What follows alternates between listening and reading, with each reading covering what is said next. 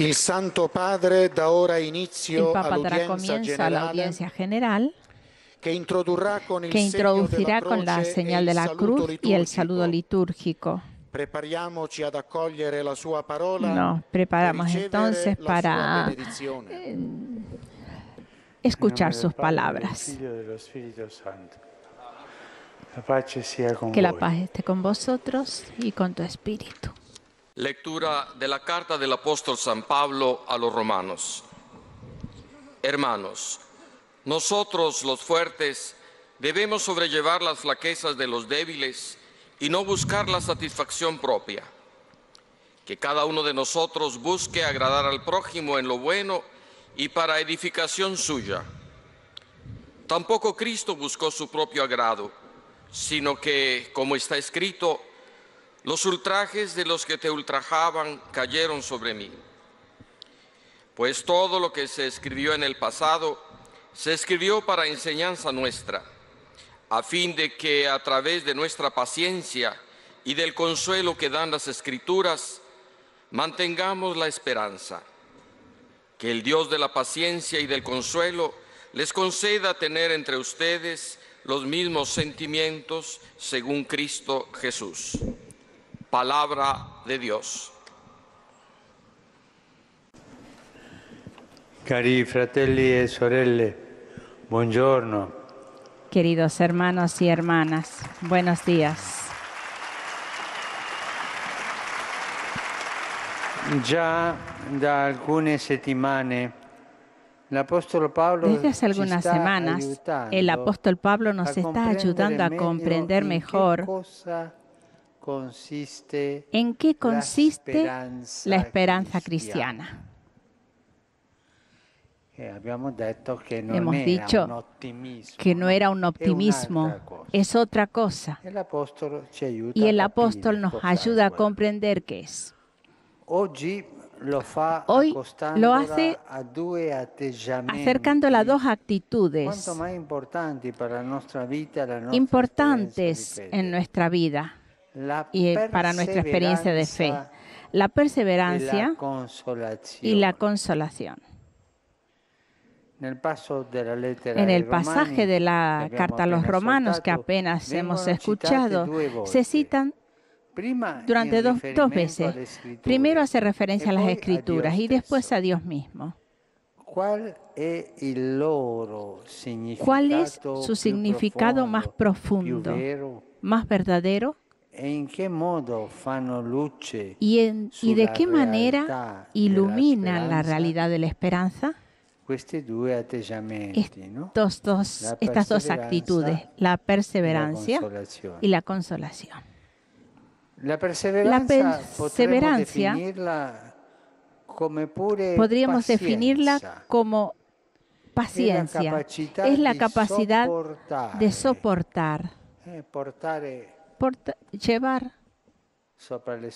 sobre las espaldas, soportar, rimanere de permanecer fieles, aunque il peso sembra diventare aun cuando ese peso parece demasiado grande, insostenible, y nos sentiríamos tentados de juzgar negativamente y abandonar todo y todos. La consolación, en cambio, es la gracia de saber acoger y mostrar en cada situación, incluso en mayormente marcadas por la desilusión y por el sufrimiento, la presencia y la acción compasiva de Dios. San Ahora San Pablo nos recuerda que la perseverancia y la la consolación se- nos scrittura, a través de las escrituras de la Biblia. En efecto, la palabra de Dios, en primer lugar, nos lleva a dirigir la mirada a Jesús, a conocerlo mejor y a parecernos a Él, a Lui. cada vez más a Él. Y en segundo lugar, la palabra nos revela que el Señor es de verdad el Dios de la perseverancia y de la consolación, que permanece siempre fiel a su amor por nosotros. Es decir, che è perseverante que es perseverante en el amor con nosotros.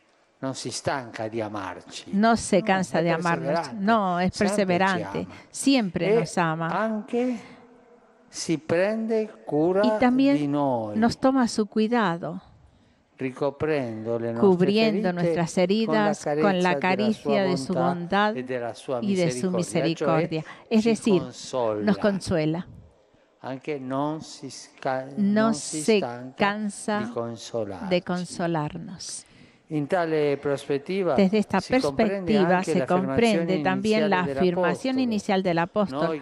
Nosotros que somos fuertes tenemos el deber de llevar la enfermedad de los débiles sin complacernos en nosotros mismos. Esta expresión, siamo Nosotros que somos fuertes, podría parecer presuntuosa, pero en la lógica del Evangelio sabemos que no es así. Aún más. Es justamente lo contrario, porque nuestra fuerza no de viene de nosotros, sino del Señor. Quien experimenta en la propia vida el amor fiel de e Dios y su consolación, anzi, está preparado aún más deber più de estar cercano a los hermanos e más débiles y hacerse cargo de su fragilidad. Si nosotros estamos cerca del Señor, tendremos esa fortaleza esa fuerza para estar cerca a los más débiles, a los más necesitados e y consolarlos y darles fuerza. Esto es lo que significa. E questo, puede hacerlo Sin una autocomplacencia, sino sintiéndonos simplemente como un canal que transmite, los dones del Señor. Y así se convierte concretamente un en un sembrador de esperanza. Y esto es lo que nos pide el Señor. Con fortezza, Con esa fortaleza, con esa capacidad de consolar, Ser sembradores de speranza. esperanza. E seminare speranza Sembrar ci esperanza vuole oggi, eh? eh, non è facile. se necesita hoy, no es fácil. Il frutto di questo stile di vita este estilo de vida non no è es una comunidad in cui en la alcuni cual sono di algunos son de serie A, es decir, los más fuertes, y otros de serie B, los débiles. En cambio, el fruto es, como dice Pablo, Tener los unos hacia los otros los mismos sentimientos, siguiendo el ejemplo de Cristo Jesús. La palabra de Dios alimenta una esperanza que se traduce concretamente en un compartir, en un servicio recíproco. Porque También quien es fuerte, entre comillas, se encuentra antes o después experimentando la fragilidad y necesita el consuelo de los demás y viceversa. En la debilidad se puede siempre ofrecer una sonrisa o una mano, al hermano que se halla en dificultad. Y es una comunidad- y en- Es una comunidad así, que son una sola alma y una sola voz, da gloria a Dios. Pero todo esto es posible si se pone en el centro a Cristo y su palabra, porque Él es el fuerte, es el que nos da la fortaleza, que nos da la paciencia, que nos da la esperanza, que nos da la consolación. Lui è il fratello Él es el hermano fuerte, que cuida de cada uno de nosotros. Todos, en efecto, tenemos necesidad de ser cargados sobre las espaldas e del buen pastor y de sentirnos envueltos por su mirada e tierna y premurosa. Queridos amigos, Nunca agradeceremos bastante a Dios por el don de su palabra que se hace presente en las escrituras. Es allí que el Padre del Señor nuestro Jesucristo se revela como Dios de la perseverancia y de la consolación.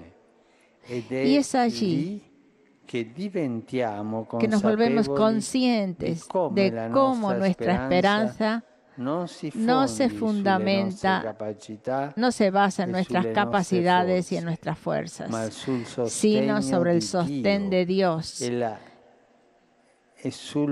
y sobre su fidelidad, fidelidad, perdón, la fidelidad de su amor. Es decir, sobre la fuerza de Dios es la consolación de Dios. Muchas gracias. Pues hasta aquí la catequesis en la que el Papa ha hablado de la esperanza.